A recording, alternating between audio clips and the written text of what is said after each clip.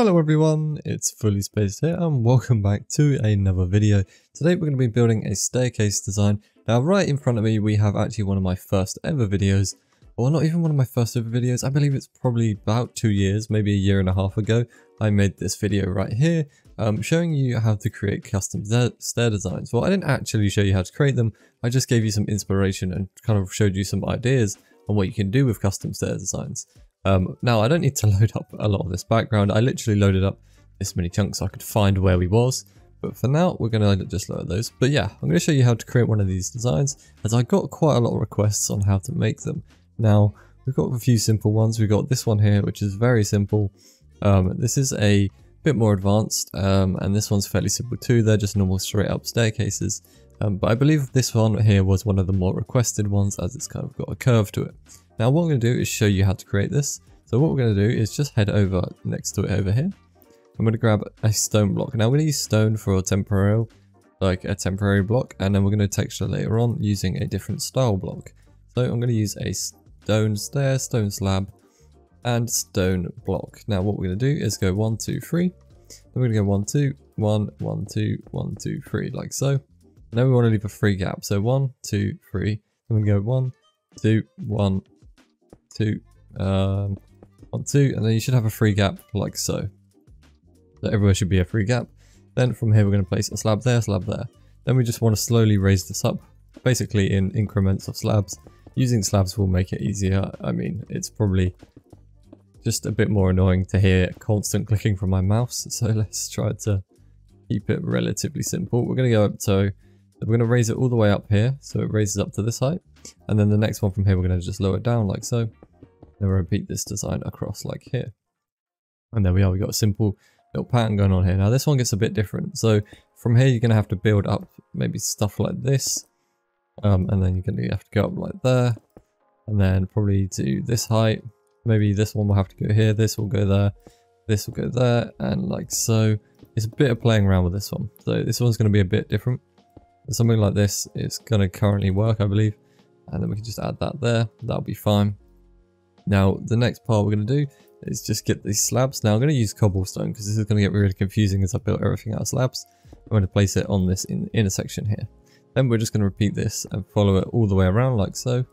So we want to keep it one slab below the actual max height here. So something like this. Um, and then we can add in this one here. Then we do the same up here like so and then once again, we add in this one and then we're going to keep it level here. Now, really, I think keeping it level here is probably would have been a good idea, but I'm going to keep it level at this point here. Then this can be a straight that goes across onto your place. Now, the stairs can vary, vary quite a lot. So if you look at these ones, uh, you, you, you, got this like L shape.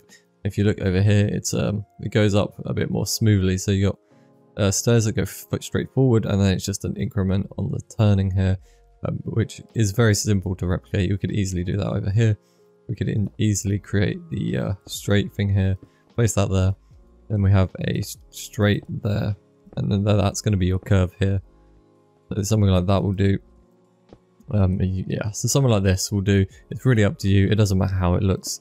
Um, you can really just play around with it as much as you want and make it look as cool as you want. So I'm going to probably leave it like, yeah, I'll leave it like this. This is, works perfectly fine. And we've got an already looking curved staircase, which looks pretty cool.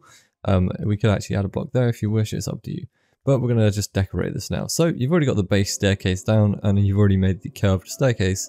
Now you need to just texture it and decorate it and pretty much you're done. There's not much to making staircases. Um, I mean, obviously, depending on the size and the length and things, they could take a lot longer. But I'd recommend, uh, you know, try not to make them too long. I mean, I have a few long staircases, but they are very simple. Uh, but when you're making curved ones, they are a bit more complicated to make at such a high, um, you know, at such a long distance, should I say, not height. Um, I mean, as well as height, that that is going to be a, um, you know, an issue if you're building something with a lot of height and a lot of curve. We're going to add leaves mossy. We're going to go with some polished, which we've already got, and just normal andesite. Uh, we got stone, and then we're going to use cobblestone too, just to mix that up. Now what we're just going to do is just go around texturing the kind of back of this and just the whole thing. So you're just going to hear a bit of clicking for now, as I just randomly spam blocks down. Um, so we're going to place lots and lots of different textures all around. This will just make the build look 100% better. And then I'll show you some little tricks we can do with this as well. So we've got something like that, that looks perfect. I think we had a slab there just to lower that. That looks a bit, little bit cooler. And then, yeah, we we'll keep that with a full, no, not a full block, we had a slab there. Yep, that's perfect. Now, from here, what we can do is uh, we've already given it a fairly, fairly okay texture, nothing too fancy.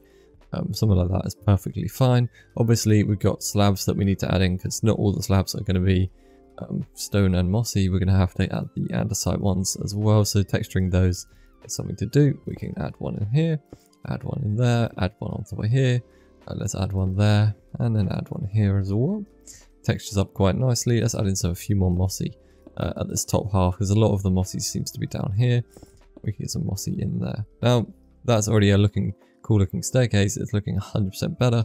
Uh, we can add a small bunch of details to this now to start making it look really cool. So we're going to start off with some stairs. Now stairs are great to use um, simply because they can give away little crack marks. So um, let's fix that up first. Let's add something like this and you can just add some stairs in here. Now try not to do it at certain points of the build because you will get gaps like this and you will have to fill them in like so, which isn't a huge issue. But try to avoid doing it on the top ones because they just look a bit clunky um, on the edges mostly. But apart from that, everything else should be fine. So we can add something there. We can add one here.